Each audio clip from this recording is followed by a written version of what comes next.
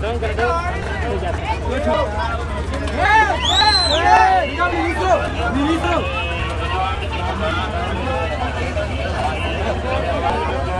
¡Ministro!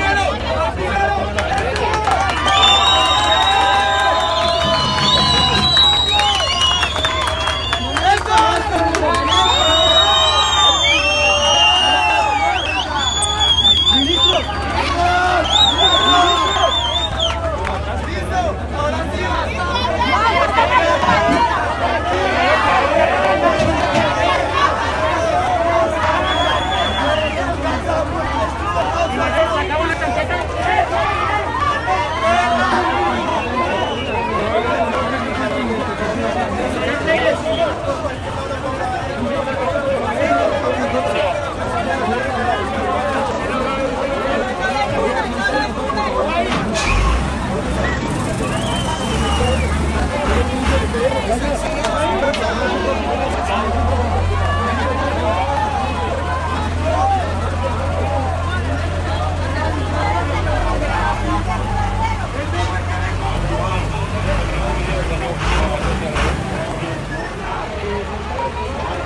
Presidente, yo me voy a pronunciar sobre algo que acaba de mencionar el compañero Carlos Ríos.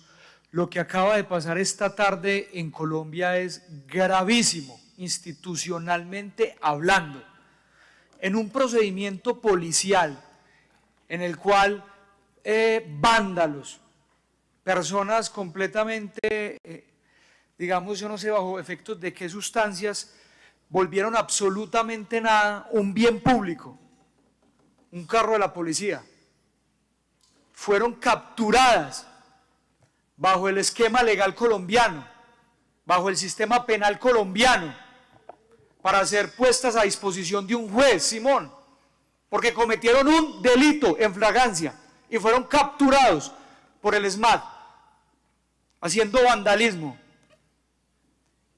y llega el viceministro del Interior de Gustavo Petro a meterse al carro del SMAT Carlos Simón a sacar a esos jóvenes que estaban cometiendo un delito en fragancia, rompiendo institucionalmente todo el sistema penal colombiano, rompiendo toda la separación de poderes de este país y este Estado de Derecho y no les importa absolutamente nada. Esos son los primeros pasos que hacen los gobiernos dictatoriales. Y se le metió a la tanqueta a la policía delante de todo el mundo y delante de todos los medios de comunicación, sacó a esos jóvenes. Y eso es este gobierno. Está rompiendo con todo el sistema jurídico colombiano, con toda la separación de poderes. Aparte que en dos meses ha generado las peores crisis nunca antes vista. Simón que ahora solo pensaba en, el dólar de 5 mil pesos para irse a pasear a Miami, esos 5 mil pesos que vale un dólar, es lo que tienen que pagar las personas que trabajan en el campo para importar los insumos y eso aumenta el precio de la comida que usted estaba tan preocupado ahora. Y esa es la realidad de Colombia. Y nadie dice nada. Aquí los defensores de Petro son todos los días pidiendo derechos, pidiendo derechos, que la constitución, que la constitución, y se les olvida que eso hay que materializarlo, que eso, eso es solo un papel si no se materializa en, la realidad. Pero cuando ocurre este quiebro institucional, ahí sí se quedan callados, véanlo allá, callados pegados al celular, y no les importa absolutamente nada. Hoy aquí están premiando al bandido, están premiando a la persona que no quiere trabajar por el que se levanta todos los días a buscar su, comida y su trabajo. Aquí los principios los están cambiando y solo mueven las cejas y hacen las manos así. Eso es lo que está pasando. Y, hoy, y Medellín les mandó un mensaje, ya lleva dos mensajes en 15 días y dentro de ocho días va el tercero, que no lo han leído políticamente.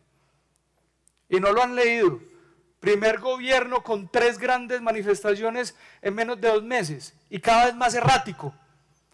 Y, vimos la ministra de Minas, con, inclusive con el casco al revés en Hidroituango, hablando con otra administración más mentirosa y no se sabía cuál de las dos se decía más mentiras.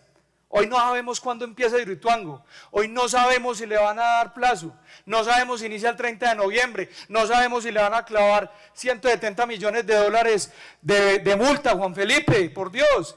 No sabemos si le van a quitar la plata de 10 años de confiabilidad, que es casi un billón de pesos. Y no dicen nada. Y eso es este país hoy.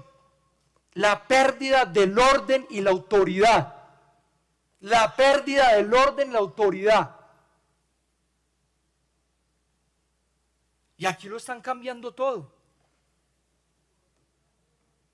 Por eso aquí seguiremos, seguiremos defendiendo la institucionalidad del país, seguiremos defendiendo el orden, seguiremos defendiendo la autoridad, seguiremos defendiendo las libertades de empresa, porque los que, los que han sacado antes de pandemia que teníamos un 24% de pobreza, desde la, desde la independencia de Colombia hasta antes de pandemia, ese 76% de colombianos que lo sacaron de la pobreza fueron el desarrollo económico y las empresas. No fueron los subsidios. Es que el Estado no hace plata. El Estado no hace plata. El Estado tiene que entrar a quitársela a las personas que trabajamos todos los días para poder generar condiciones de desarrollo para que eso le llegue a todo el mundo.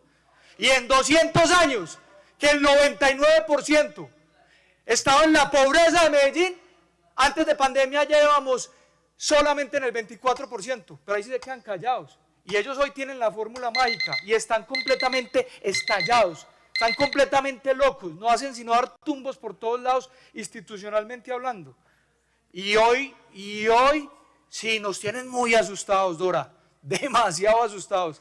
Este país va sin rumbo, va sin rumbo y de verdad que, termino con esa frase, nos tienen asustados. Y a todo el país, Dora. Así es, muy asustados.